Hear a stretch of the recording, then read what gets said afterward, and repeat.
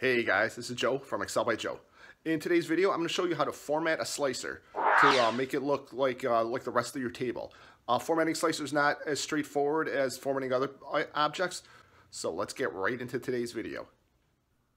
Alright, so here we are with our data and our slicers. So we've got our data table here, we've got the pivot table which created, and then here's our, slice, our slicers that we're going to use. I want to format these two slicers and just kind of show you how we, how we do them. So if you click on the slicer, there's a slicer menu up on top. You can manually adjust the size. It's also, you can also do that here by the height. You can do the height of the, of the actual button or the width of the button. You can do the height and width of the, of the full box. Um, if you want the number of columns. But that's pretty much it as far as what you can you can do. I mean, you can resize it to help a little bit you can click on Slicer Settings, which helps, which can tell you if you want to have a header. You can just get rid of the header if you want. You can change the name of the of the salesman. Can, this can maybe be salesperson.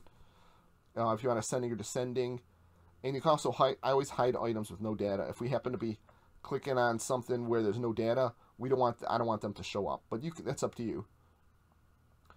So those are just the basics, which you can easily find how to how to do that formatting. If you want to get more advanced with the formatting, we're going to use these slicer styles here. So what you could do, here's the a predefined slicers. You can click on one, see, and it it'll change it. All it does pretty much is change the color. If you want to really get into formatting it, say you want we want to change the font, we want to change the size, change the, the borders and so on. What you want to do is you want to find one of these and we're going to right click on it and go to duplicate. And what do we want to duplicate? So we're going to name it, I'm going to call this green 1. Okay, we named it green 1 and I'm going to click OK. So now if we click this little drop down here, we've got a custom one made. And this is where we're going to edit it. We're going to right click and we go go to modify. So modify, this is where we can format our slicer to look how we want. And we're going to just do the whole slicer. We're going to just do everything, and we're going to click on Format. And what do we want the slicer to look at? Well, I already called it green, so let's let's give it a green. But we'll give it a dark green color. How do we want the font? Let's click on different fonts and see which one maybe might look good. Here, Arial Nova, that looks pretty good. I want it bolded in italics, though. And I want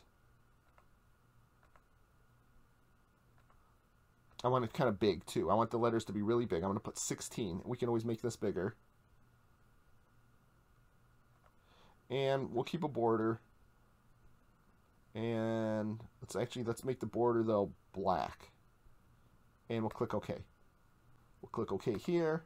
Now nothing happened here because this is still set up as the initial one we did. So now with this clicked, we drop down here and we click on custom there. So now we formatted this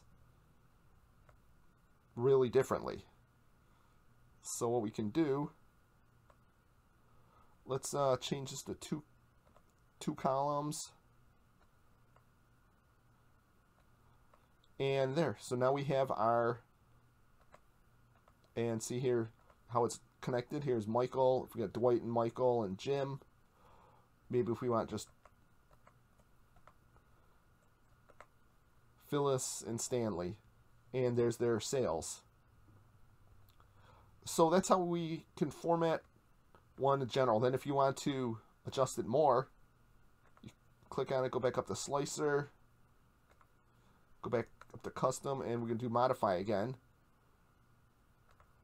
We'll format it, and maybe we don't want the fill to be green. Maybe we want the fill, fill to be maybe a lighter green and we didn't like the font.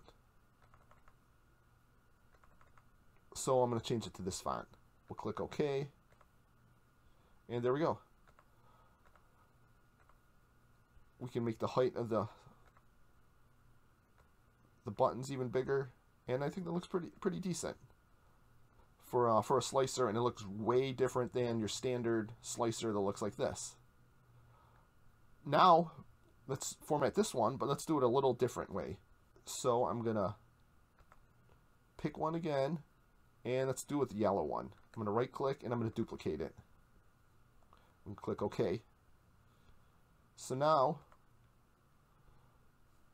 let's make this one the yellow one. So this is our custom one that we just made. We're going to right click on it and we're going to modify. Now let's change things around a little bit. Let's start, let's, instead of doing the whole slicer, we're going to just do certain items here. So let's format the header first. And say for the header, we don't want a border. We don't want any fill.